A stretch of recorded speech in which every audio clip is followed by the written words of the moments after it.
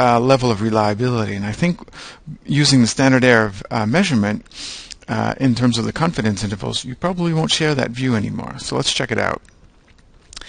Uh, I'm calculating the standard error of measurement with uh, the formula, so it's standard deviation 15 times the square root of 1 minus the reliability. What do we get? 15 times 0.548, which equals 8.22. So with a reliability estimate of 0.70 in IQ scores, based on what the test um, provides in terms of reliability, we get a standard error of measurement of 8.22 which means that if we wanted to calculate the 68 confidence, 68% confidence intervals for someone with an IQ score of 100, we would say that their true IQ score falls somewhere between a lower bound of 91.78 and an upper bound of 108.22. I'm simply adding the standard error measurement to the score of 100 and subtracting it as well to get the lower bound. So this is the, these are the 68% confidence intervals, uh, uh, interval estimates uh, based on the standard error of measurement. Now let's take it up to 95% confidence interval. So we need to multiply our standard error of measurement by 1.96. What do we get? 16.11. And now if I use my plus and minus, 100 plus 1611 is equal to 116.11 and 100 minus 16.11, 83.89. So now the range and confidence has increased uh, but we also, because we want to capture 95% uh, with 95% confidence the person's true IQ score. Now let's go to 99% confidence. multiplying by 2.58 to ultimately get a range between a lower bound of 75.79 and an upper bound of 121.71.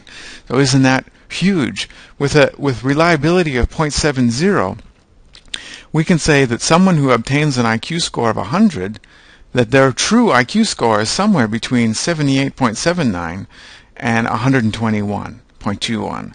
So somewhere between dull and bright. Uh, and I think this is quite convincing evidence that a reliability of 0.70 really isn't very impressive when we need to obtain very high levels of confidence in somebody's score. And in something like an IQ score, very often we do need very high levels of precision. Now I'm going to go through this quickly. This is for the reliability level of 0.80, so it's bumped up from 0.7 to 0.8. I'm going to go through it quickly just to get down to the uh, numbers of principal interest, which is the 99% confidence interval. Now it's narrowed somewhat. Now we're down to 82 uh, lower bound to 117 upper bound. Still not that impressive with 99% confidence. And with 95% confidence, it's still a pretty big gap. So someone scores 100, and you can say with 95% confidence that their IQ, their true IQ score is somewhere between 86 and 113. Still a pretty big gap. Now let's look at reliability 0.90. So these are the calculations. I'm just going to blitz through them. You can pause and look at the calculations if you wish. Now with 99% confidence, if someone scores 100 on a test that has reliability of 0.90, we end up with confidence interval between 87 and 112. So still a, still a pretty big gap. You really need reliabilities of 0.95 to really get a, a tight 95% confidence interval around a score. Let's think of, uh, let me go through some final considerations.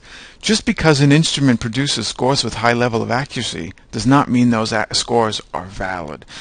You may have heard re reliability is a necessary but not sufficient condition of validity. So just because the scores have a narrow range in terms of uh, true score accuracy does not mean that the IQ test is any good. The IQ test might be really bad but it might still produce very reliable scores. Every time someone takes the test, they get the same score. That would be reliable. But it could be a bad, invalid score. What type of reliability estimate should one use in the SEM formula? Good question. There's no real answer to that. Uh, people tend to use more often than not Cronbach's alpha. Now, I've got another video on Cronbach's alpha that I'll encourage you to check out uh, if you want to understand more details about Cronbach's alpha. Uh, but a lot of people might argue that you should use test-retest reliability or inter-rater reliability. Uh, it depends on the circumstances of your uh, study and the circumstances of your situation. And you'll have to be able to justify that to yourself and to whoever you're actually um, uh, doing some testing for. There, I'll point out finally that the formula I used to estimate the standard error of measurement, which is really simple, standard deviation multiplied by the square root of 1 minus reliability, that only works and is only applicable to scores that correspond to the mean of that test or sample. Now we know that there's a, a, a mean IQ score is 100 and it wasn't a coincidence that I cho chose 100. But if you want to estimate the standard error of measurement for someone who scored a score of 115, you, you need to use a different formula that is more complicated and bigger, but it's still relatively easy to use.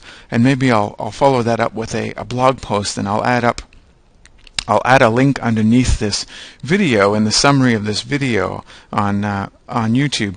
I'll add a link talking about the differences between the formulas. Uh, anyway, I hope you enjoyed this video and thanks for watching.